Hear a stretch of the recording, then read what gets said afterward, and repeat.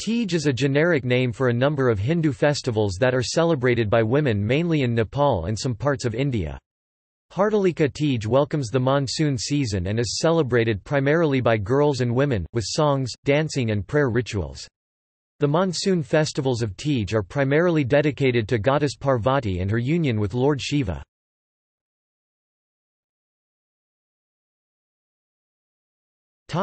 Etymology Teej refers to the third day that falls every month after the new moon Amavasya, and the third day after the full moon night of every month. The monsoon festivals of Teej include Haryali Teej, Kajari Teej and Hartalika Teej. Teej refers to the monsoon festivals, observed particularly in western and northern states of India, Nepal, and in some southern states of India such as Telangana. The festivals celebrate the bounty of nature, arrival of clouds and rain, greenery and birds with social activity, rituals and customs. The festivals for women, include dancing, singing, getting together with friends and telling stories, dressing up with henna-colored hands and feet, wearing red, green or orange clothes, sharing festive foods, and playing under trees on swings on Haryali Teej. The festivals are dedicated, in many parts of India and Nepal, to Parvati.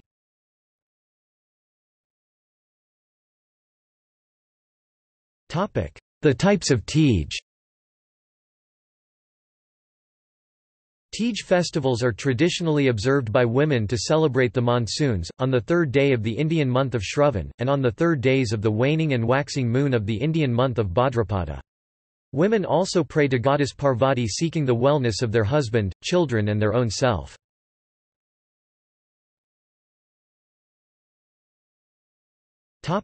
Haryali Teej Haryali Teej is celebrated on the third day of the bright half of the North Indian lunar month of Shravana. As Shravana or Sawan month falls during monsoon or rainy season when the surroundings become green, the Shravana Teej is also called Haryali Teej, green Teej. A fast is kept and the focus is the moon. The Haryali Teej festival is also celebrated to remember the reunion of Lord Shiva and goddess Parvati, the day when Lord Shiva accepted goddess Parvati as his wife. Goddess Parvati fasted and was austere for many years and was accepted by Lord Shiva as his wife in her 108th birth. Goddess Parvati is also known as Teej Mata, Sindara Teej. On Teej festival married daughters receive the gifts by her mother such clothes, bangles, bindi, mahandi etc. Ghevar. A special sweet is given to her on this day. These gifts are known as Sindara.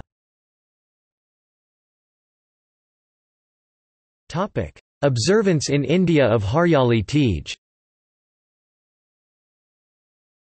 The traditional areas of celebration are, Punjab region and Rajasthan.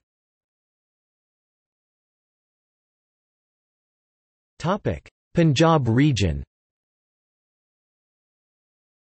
The festival is celebrated in Punjab, Haryana and Chandigarh.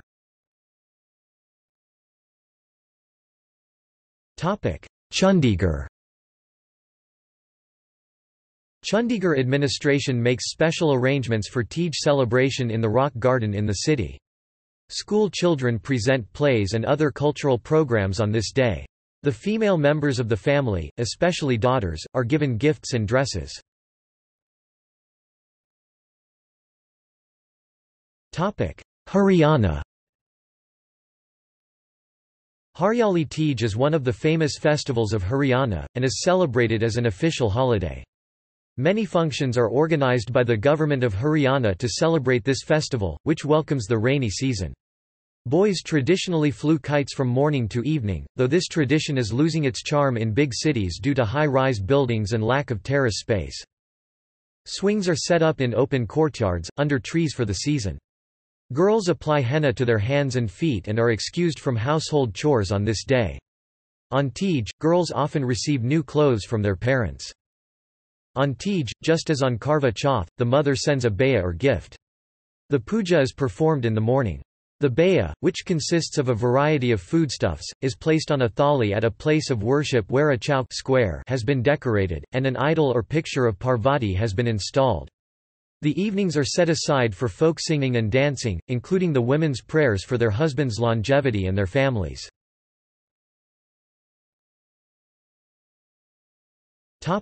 Punjab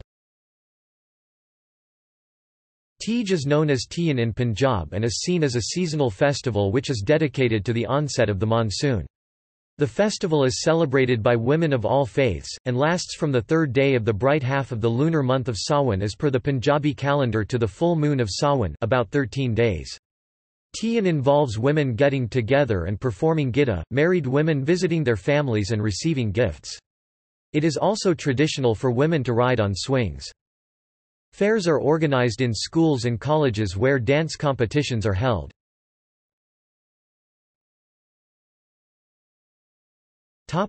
Rajasthan Teej welcomes the monsoon and observed in the month of Shravan July, August. The monsoon rains fall on the parched land and the pleasing scent of the wet soil rises into the air. Swings are hung from trees and women dressed in green clothes sing songs in celebration of the advent of the monsoon. This festival is dedicated to the goddess Parvati, commemorating her union with Lord Shiva. Goddess Parvati is worshipped by seekers of conjugal bliss and happiness. An elaborate procession is taken out in Jaipur for two consecutive days on the festive occasion which is watched by people in large numbers. The Teej idol is covered with a canopy whereas the Gangaur idol is open. The traditional Ghevar sweet is also associated with the festival. During Teej, goddess Parvati is worshipped. The day before Haryali Teej, is celebrated as Sinjara, wherein women put mehandi on their hands and eat.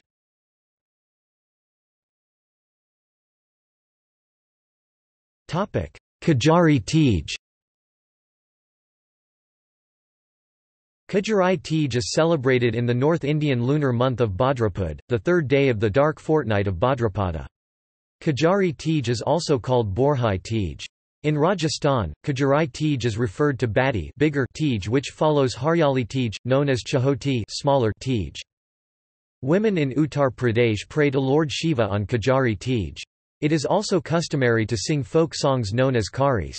The focus of the lyrics is usually on separation expressing the pining of a woman for her beloved in her parents' home, where she has been sent to celebrate Teej, or waiting in anticipation to be collected by brothers to celebrate Teej. The Kajri is a folk song composed and sung in the regions of eastern Uttar Pradesh, Bihar and in parts of Madhya Pradesh and Rajasthan. Women who observe the Kajari Teej fast go without food and water. Kajari Teej is also known as Kajali Teej which also involves praying to the moon. The fast is broken by eating sattu. The other focus of the day is to pray to the neem tree indica. A fair is held in Bundi in Rajasthan to celebrate Kajari Teej.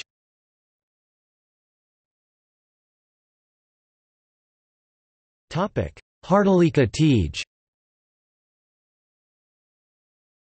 Hartalika is a combination of harit and alika, which means abduction and female friend, respectively. According to the legend of Hartalika Teej, goddess Parvati, incarnated as goddess Shailaputri, was the daughter of Himalaya who promised her hand in marriage to Lord Vishnu, at the suggestion of Narada.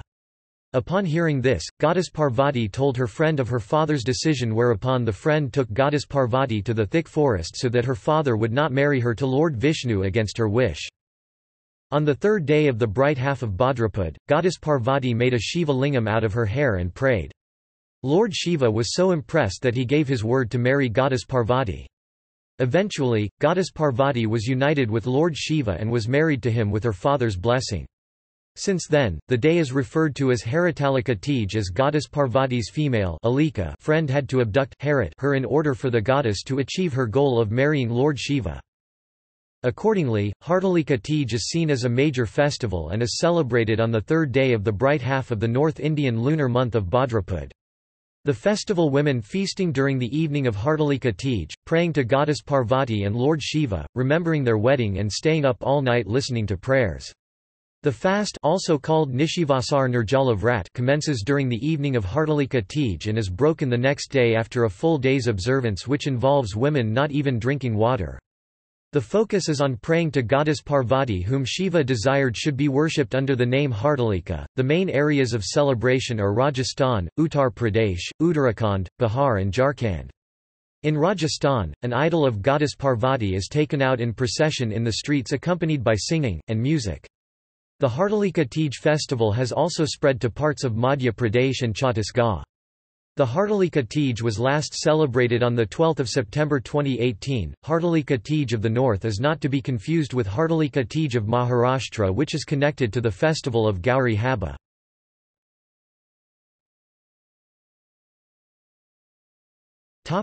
Elsewhere in India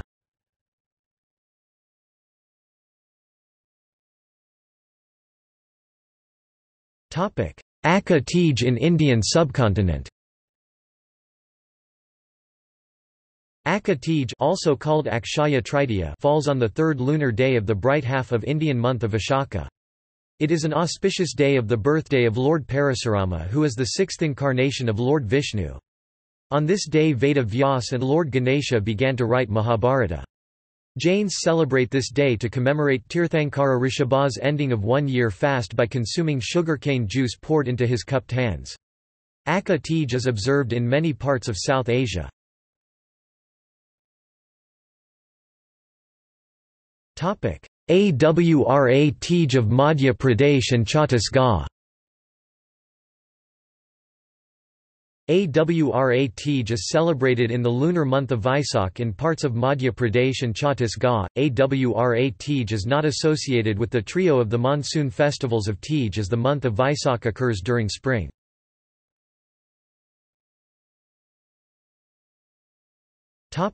Hariyali Teej of Gujarat Gujaratis have adopted the festival of Hariyali Teej which is celebrated in Gujarat in a like manner to Rajasthan.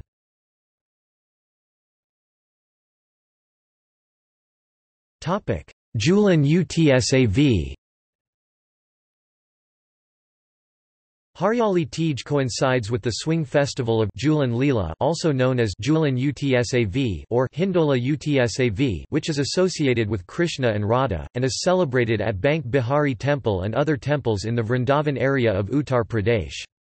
The festival lasts until Krishna Janmashtami for 13 days. On the day of Teej, idols of Krishna and Radha are placed on swings in the temples and the focus of Jhulan Leela is religious. The green theme, popular in neighbouring Rajasthan and Haryana on Hariyali Teej, can also be seen in the Jhulan Utsav. Idols of Krishna and Radha are dressed in green clothes. Hariyali Teej and Jhulan Utsav fall on the same day. However, Hariyali Teej is a monsoon festival dedicated to goddess Parvati whereas, Jhulan Utsav is dedicated to Lord Krishna and Radha.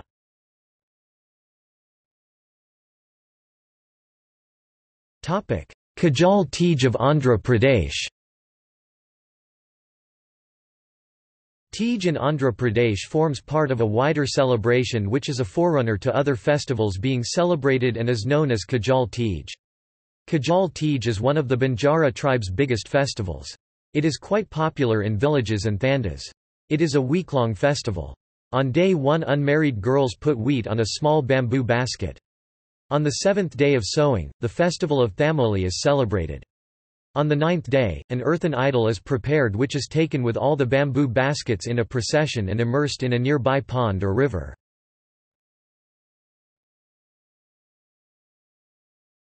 Kavada Teej of Gujarat Kavada Teej, also known as Kevda Trij, is a festival observed mainly in Gujarat. The festival is celebrated on the third day of the Shukla Paksha waxing phase of moon of Bhadra in Gujarat. This observance is similar to the Hartalika Teej Vrat. Married and unmarried women observe a fast on the day and offer kavada flower pandanus, pine screw, to goddess Parvati and Lord Shiva.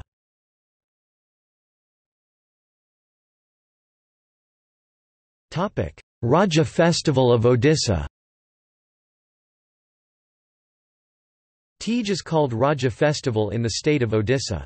Raja IPA, D, Odia, Raja or Raja Parba IPA, D, PRB, Odia, Raja Parba or Mithuna Sankranti is a three-day-long festival and the second day signifies beginning of the solar month of Mithuna from, which the season of rains starts.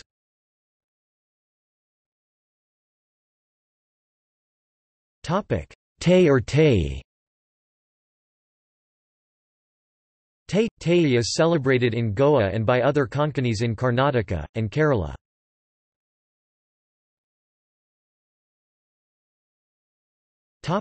Observance in Nepal of Hartalika Teej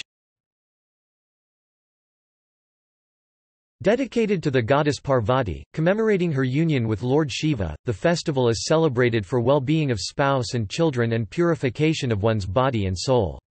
The festival is a three-day-long celebration that combines sumptuous feasts as well as rigid fasting.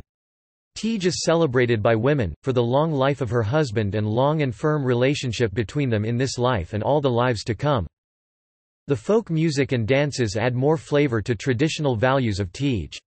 Women in red dance and sing in the street, going to temple in holy and fasting mood.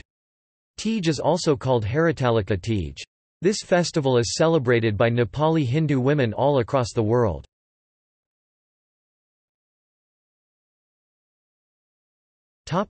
Day 1 The first day of Teej is called Dar Kain Din. On this day the women assemble at one place in their finest attire and start dancing and singing devotional songs. Amidst all this, the grand feast takes place. What is unusual about this day is that the feast is hosted by men. Women, who work hard throughout the year, do not have to do anything that day.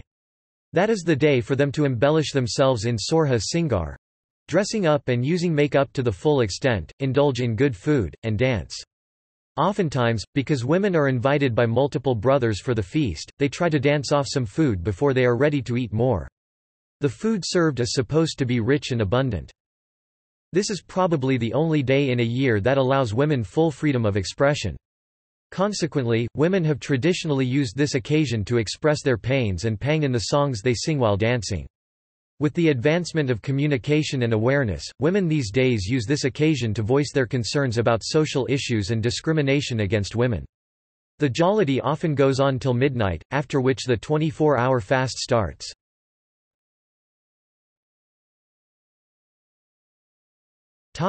Day 2 The second day is the fasting day. Some women live without food and drops of water while others take liquid and fruit. The fasting is observed by married and unmarried women. Married women abstain strictly from food and drinks with a belief that their devotion to the god will be blessed with longevity, peace and prosperity of their husband and family. Unmarried women observe the fast with a hope of being blessed with a good husband. They dress gaily and visit a nearby Shiva temple singing and dancing on the way. The Pashupatinath temple gets the highest number of devotees. At the temple, women circumambulate the Shiva lingam, which symbolizes Lord Shiva, offers the praying with flowers, sweets and coins. The main puja religious ceremony takes place with offerings of flowers, fruits, etc., made to Shiva and his wife goddess Parvati, beseeching them to grant their blessing upon the husband and family.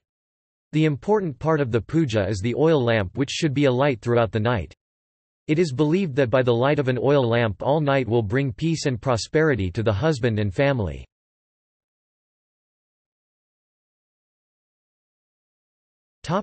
Day 3 The third day of the festival is Rishi Panchami. After the completion of the previous day's puja, women pay homage to seven saints or sages, offer prayers to deities, and bathe with red mud found on the roots of the sacred Datiwan bush, along with its leaves. This act of purification is the final ritual of Teej, after which women are considered absolved from all their sins. Recent years have witnessed an alteration in the rituals, especially concerning the severity, but its essence remains the same.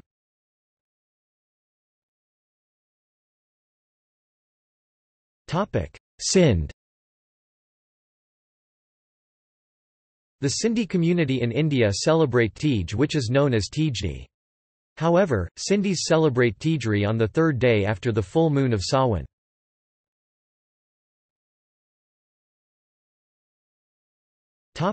See also List of Hindu festivals Holi Diwali Dashain Gauri Haba